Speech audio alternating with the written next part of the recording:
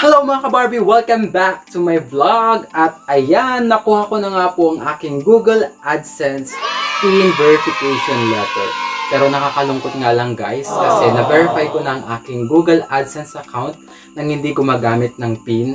Ayan guys, sa mga matagal pa pong dumating ang kanilang Google AdSense PIN verification letter, may tutorial po ako guys. Ayan, panoorin nyo lamang po ang aking tutorial kung paano po i-verify ang iyong account nang hindi gumagamit ng PIN. So para mapanood ang aking tutorial kung paano i-verify ang iyong Google AdSense account nang hindi gumagamit ng PIN, ayan guys, nasa description po, i-click nyo lamang po ang link at po, mapupunta po kayo sa aking tutorial kung paano i-verify ang iyong account nang hindi gumagamit ng PIN. So ngayon, ang vlog na to ay ipapakita ko sa inyo kung anong mga detalye na nakalagay sa loob at labas ng Google AdSense verification letter. So ngayon guys, wala nang paligoy-ligoy pa. Ayan, tignan na natin kung anong nilalaman at kung anong nasa labas ng AdSense, ay Google AdSense PIN verification letter. Tara! So bago ang lahat, gaano nga ba kaimportante ang AdSense PIN?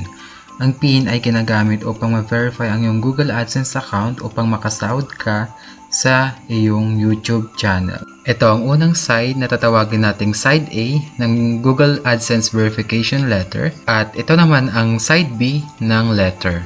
Ayan, sa side B may nakalagay na address na kung saan ibabalik ang iyong Google AdSense PIN kung hindi mo na-receive ito.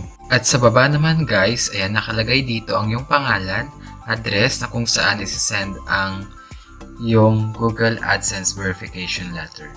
Ayan, oras na para tignan natin ang nasa loob guys ng Google AdSense PIN verification letter.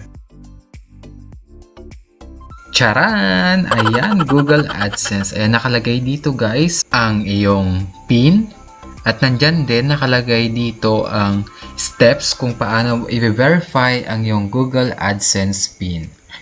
Ayan guys, napakadali lang po ng mga steps. Ayan nakalagay dyan. Step 1, sign into your AdSense account. Ayan ang link with the email address and password you used during the application process.